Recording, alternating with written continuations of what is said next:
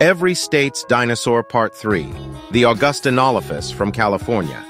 Augustynolophus morrisi is an extinct genus of herbivorous saurolophine hadrosaur dinosaur, which was discovered in the Moreno Formation in California, dating to the late Maastrichtian age, making it one of the last dinosaurs known from the fossil record before the Cretaceous-Paleogene extinction event.